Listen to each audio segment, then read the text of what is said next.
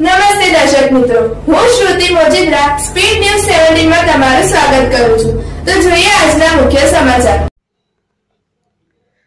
ભાવનગર સિહોરમાં ગત મોડી રાત્રે પડેલ વરસાદને કારણે ગોમતેશ્વર તળાવની સપાટી છવ્વીસ ફૂટ પહોંચવામાં આવ્યું છે અને ડેમ સત્યાવીસ પોઈન્ટ પાંચ ફૂટે ઓવરફ્લો થાય છે. વરસાદના પાણીના લીધે ગોમતેશ્વર તળાવના પાણીની આવક થતાં ડેમના દરવાજામાંથી પાણી નીકળતું જોવા મળી રહ્યું છે. રિપોર્ટ ધવલ રાઠોડ શિહોર